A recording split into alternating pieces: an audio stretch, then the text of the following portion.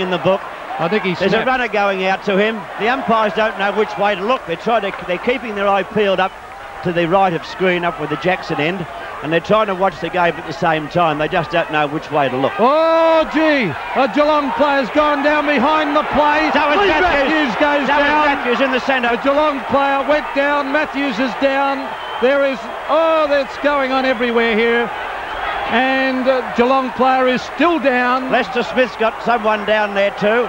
and So- now the I goal earlier, umpire, the goal umpire's out talking to Langford and ja- oh, someone's gone again.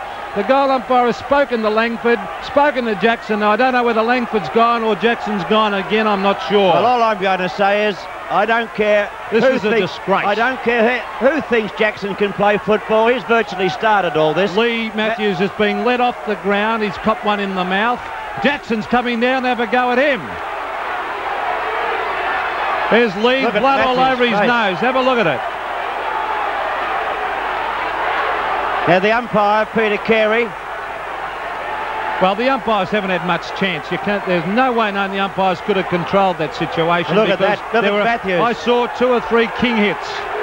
look at Matthews. I think something has to be done at the top level about this. Neville Bruns is still nearly out to it. He's being let off the ground behind the play. He copped one behind the play. There's Bruns is gone. Look and at him. Uh, Bruns has copped one right in the snout. He's in a bad way. As